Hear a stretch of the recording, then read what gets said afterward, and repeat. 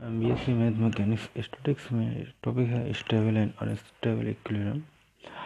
video number five question है a uniform beam of thickness two b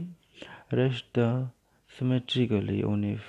on a perfectly rough horizontal cylinder of radius a so that the equilibrium of beam will be stable or unstable यानी इसमें stable और unstable बताना है according as b is less and greater to a यानी V A से less है या greater उस टर्म में स्टेबल एंड अनस्टेबल की कंडीशन बतानी है। सॉल्यूशन लेते हैं, हमने ये फिगर बनाया है, ये सिलेंडर है जिसकी रेडियस ये है बीम बीम की जो थिकनेस है वो टू बी है। पॉइंट ऑफ़ कॉन्टेक्ट ये है पॉइंट ऑफ़ नीचे का जो इसकी रेडियस है वो कैपिटल आर होगी लोअर बॉडी की रेडियस कैपिटल आर मानी जाती है। Upper body in in a plane upper body एक प्लेन है then small r equal to infinite होगा। Small r equal to infinite it is the working rule में हमने बता रखा है स्मॉल आर इनफाइनाइट हो जाएगा। एंड जो पॉइंट ऑफ़ कॉन्टेक्ट से ऊपर वाले पॉइंट की जो सी जी होगी सेंटर ग्रेविटी वो होगा बी यानी एच इक्वल टू हो जाएगा b h equal to b हो गया। बाकी क्वेश्चन ए एंड बी के टर्म में बताना है।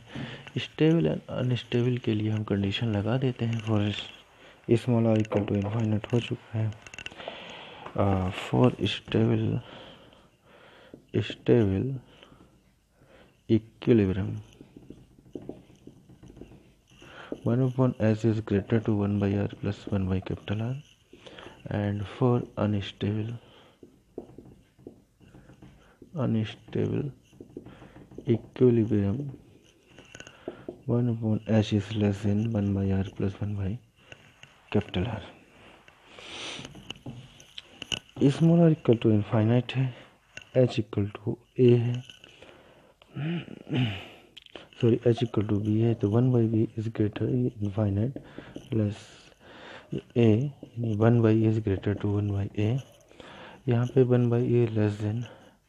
one by infinite plus one by a, one by a less to one by a. यहाँ पे आ जाएगा ए ग्रेटर टू बी और यहाँ पे आ जाएगा हमारा b is greater than two a for stable के लिए स्टेबल होगा। इसी रिलेशन में हमको बताना था a is greater than two b for stable में एंड अनस्टेबल के लिए b is greater than two a for unstable के लिए।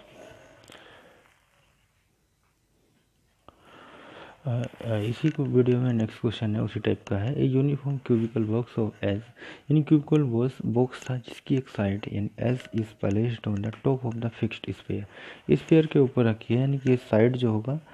वो क्यूबाइड की फॉर्म में होगा। क्यूबिकल बॉक्स था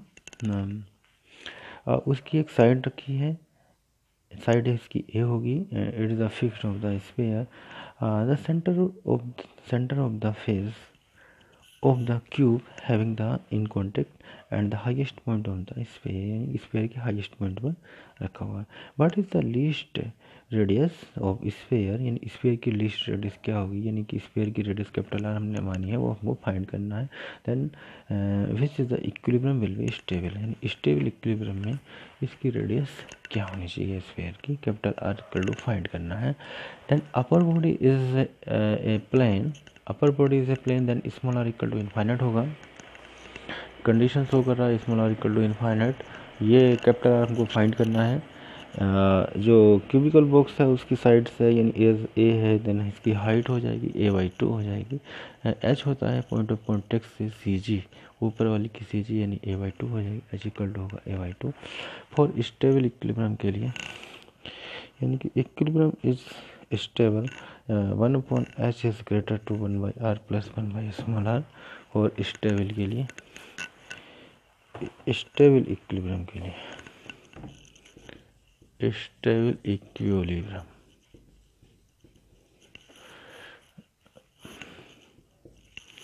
वैल्यूज़ फाइंड करना है एच की वैल्यू ड्रा कर देते हैं एच इक्वल टू होगा ए वाई टू यानी one upon a by two is greater and one by r plus one by infinite या two by a is greater and one by r plus zero. Two by is greater than two one by r, and r is greater than two a by two. यानी radius of sphere r